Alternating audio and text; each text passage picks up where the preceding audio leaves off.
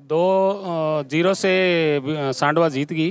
तो इसके लिए मैं पूरी टीम को और यहाँ की जनता को भी बधाई दूँगा। लेकिन विदासर टीम भी बहुत शानदार खेली। दिगंत आनंद जी का ये जो प्रयास है जनता को पुलिस से जोड़ने के लिए इसका क्या सकारात्मक पहलू है? श्रीमान एसपी साहब दिगत आनंद जी का जो ये नवाचार और ये पीपीएल मैच प्रोग्राम चलाया गया है ये बहुत ही शानदार है।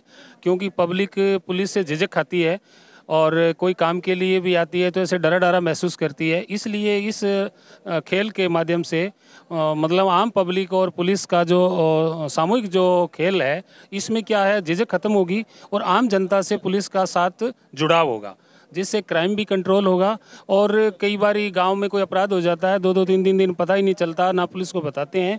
अब क्या है, पुलिस और आम जनता का जो दोनों में जुड़ाव होगा तो तुरंत जो भी कोई आप बात कहेंगे तो वो बेझिझक कहेंगे और पुलिस भी तुरंत मौके पे जाके अपनी कार्रवाई करेगी। हमारे साथ शिक्षक कृष्णा किशनाराम जी जाकर जुड़े हुए हैं। किशन जी किस तरह की प्रतियोगिता का ये उद्देश्य मानते हो पुलिस प्रशासन का?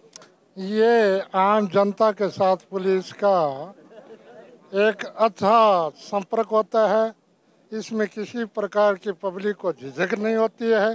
वो अपनी बात को अच्छी तरह प्रस्तुत कर सकते हैं। बिल्कुल ये हमारे साथ किशनाराम जी जाकर थे और फैक्ट तंत्र टीम की तरफ़ से पीपीएल 2022 का जो शानदार आयोजन हुआ।